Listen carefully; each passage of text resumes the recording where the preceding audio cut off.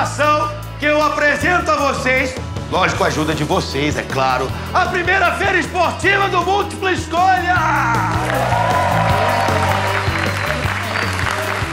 Não vamos esquecer de passar em todas as barraquinhas. Temos vôlei, judô, tênis, pra gente aprender um pouco mais sobre a história, as regras e as curiosidades desses esportes. Ah!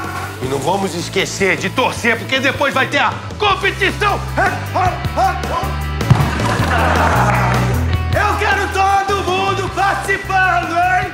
Vamos lá!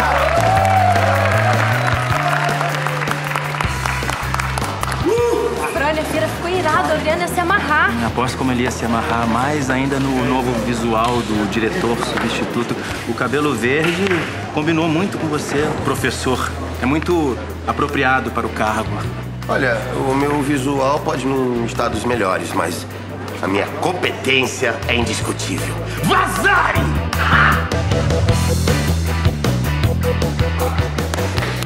É só chegar, galera. Vamos chegando que já vai começar o primeiro desafio múltipla escolha, gente. É isso aí. Vamos chegando que o bicho vai começar a pegar esse tatame aqui.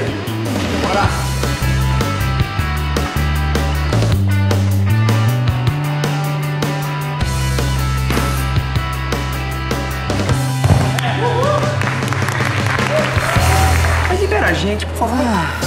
Deixa a gente pro múltipla escolha, dona Vema. O que, que custa? Tá rolando um evento esportivo, cheio de gatinha ah, e seus gigaboys de galã não podem ficar de fora. Não só podem, como vão. E não se fala mais nisso. Ô, Dona Vilma, vai liberar a gente. Vai, por favor, rapidinho, a gente vai e volta. Só uma horinha? Poxa, o que, que custa liberar nós dois? Só uma horinha. O que, que custa? Custa dinheiro, Siri. Tá? Pega o seu salário, divide por 30, depois divide por 8, depois desconta. Leva essa pra gente, vai. Me- meia horinha, então. Conta ela no relógio. Deixa a gente ir. Vocês estão surdos? Eu vou ter que ficar repetindo que vocês dois não... Estão liberados pra ir no colégio sim, dona Vilma. Pelo amor de Deus, pode ir. Que isso? Que palhaçada é essa? Quem é você pra me desdizer? Seu sócio. Seu sócio e patrão dos dois.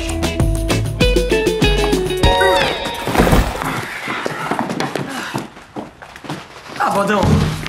Você não vai tomar banho de novo, rapaz. Você tem que voltar pro múltiplo daqui a pouco. Ué? Mas eu não vou suar de novo. Pra que tomar banho? Tá maluco? Tá? Ai, deixa de ser porco, bodão. Eu vou correr tomar minha ducha. Ó, ó só, o shampoo da República babou já. Ah, é? Ah, eu não guardo meu lá, não. O meu shampoo eu guardo no quarto. Acho que eu sou boba? Ah, eu acho sim. Ó, pelo menos o shampoo que tava lá era bonzão, cara. Era cheirosinho. É, então, era, era bom, entendeu? E é, era cloro... Clorodubo. É, clorodubo, clorodubo. Como é que é? Clorodubo! Tinha que ser a roceira, né? Com esse shampoo da roça pra cá, né? Claro, isso não é shampoo. Clorodubo é o nome de fortificante pra planta que eu achei que tinha perdido. Então quer dizer que... Que a caipira aqui não sou eu, não. Você estava passando remédio de planta na cabeça. Tá explicado o bigode, né? E o porquê da invasão dos marcianos na República.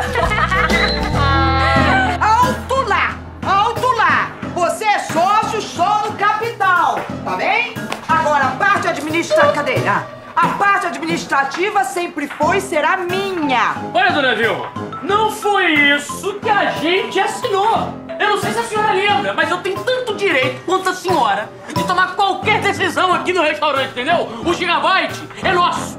Não, claro. Veja bem. Eu pensei que você quisesse ficar na maciota, compreende? Não encarar esse árduo trabalho que é se ocupar de um restaurante. Alto lá, dona Vilma, a senhora pensou errado. Eu sou um rapaz muito trabalhador, entendeu? E eu faço questão de dar pitaco no dia a dia do Gigabyte, sim, senhora. Entendeu? E a minha primeira ordem é liberar esses dois pra irem lá na festa lá de feira de esporte. Não, mas peraí, eu não libero os dois funcionários, não.